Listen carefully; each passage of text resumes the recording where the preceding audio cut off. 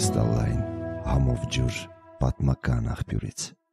Ազգային ժողովի 8-րդ գումարման 6-րդ նստաշրջանի վերջին ճեպազրույցը անց է կացվում Հայաստանի եւ Արցախի հանրապետությունների համար չափազանց ողբերգալի եւ նվաստացուցիչ պայմաններում։ Ողջ աշխարհը պետք է իմանա, որ Ադրբեջանի կողմից իրականացված հանցագործ քաղաքականության շարունակականության պատճառով 2022 թվականի դեկտեմբերից Արցախի 10 ամսյա շրջափակումը ավարտվեց եւս մեկ կեղծ ապօրինի հակահաբեկչական գործողություններով, որի արդյունքում փաստացի Արցախի ժողովրդի նկատմամբ իրականացվեց ցեղասպանություն տեղահանմամբ։ Պետք է նշել նաև, որ Սա մեր բազմադարյա պատմության ամենաամոթալի էջերից մեկն է, որտեղ Հայաստանի Հանրապետության իշխանությունների անգործունեության եւ գրավորական կեցվածքով Արցախը ոչ միայն հանձնվեց, այլ ամբողջովին հայաթափվեց։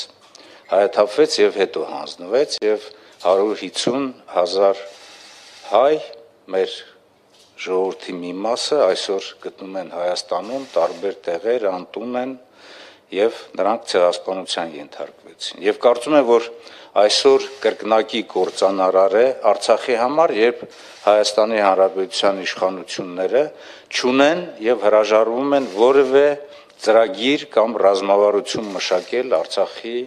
ապագայի համար։ Փաստորեն հրաժարվելով դրանից։ Այս քարորիայի ընթացքում նաև նրանք հրաժարվեցին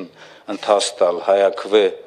քաղաքացիական նախաձեռնությանը, որով նախատեսում էր քրեական օրենսգրքում լրացումների նախագիծ հատուկ նորմով քրեորեն պատժելի արարք որակել։ Հայաստանի Հանրապետության անունից Արցախը որևէ պետության կազմում ճանաչել է եւ հայոց ցեղասպանության ճանաչումից հրաժարվել է կամ դրա վտանգավորության նսեմացումը։ Յուրաքանչյուր հայ այսօր գիտակցում է, որ Արցախի հարցը չի փակվել։ Միայն անհայրենիք մեկը կարող է անիմաստ համարել նրա համար օգտագործված ժամանակն ու ռեսուրսները, ուրանալով այն փաստը, որ քարոր դարից ավել հենց Արցախն է եղել Հայաստանի ազատության, անվտանգության երաշխավորը, սահմանապահը Եվ Արցախյան ազատագրական պայքարը մեր նորորյա պատմության ամենասուրբ մակարոնն էր։ Իսկ դա նշանակում է, որ այսօր պետք է շարունակել այդ պայքարը, քանի որ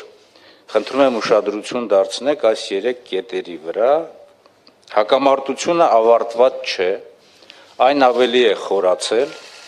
եւ Ադրբեջանի հանցագործ գործունեությունը այն ավելի է սրել եւ Ադրբեջանը դրա համար պետք է պատասխան տա։ Երկրորդը Արցախը եղել է գործոն եւ այսօր նրա սուբյեկտայնության պահպանման համար նրա բոլոր ինստիտուտները պետք է գործեն ներառյալ ժողովրդի ճակատագրի եւ նաեւ ժողովրդի հետ վերադարձի պայմանների լուծումը։ Եվ այս պարագայում իհարկե բանակցությունները միջազգային հարթակում ընդունված կամ որևէ ընդունելի նոր ձևաչափով այլ ընտրանք չունեն։ Այս ռազմավարության պատասխանատուն սիրելի հայրենակիցներ Հայաստանի Հանրապետության եւ Արցախի Հանրապետության իշխանություններն են, առավելապես Հայաստանի Հանրապետության իշխանությունները, որոնք որ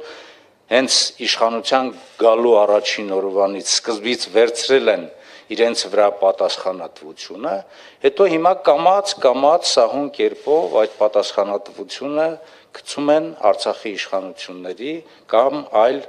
մարդկանց վրա։ Սա նշանակում է, որ եթե նրանք հրաժարվեն որևիցե ռազմավարությունից, մեր բազմադարյա պատմության ընթացքում հենց նրանց ճակատին գրված է լինելու Արցախի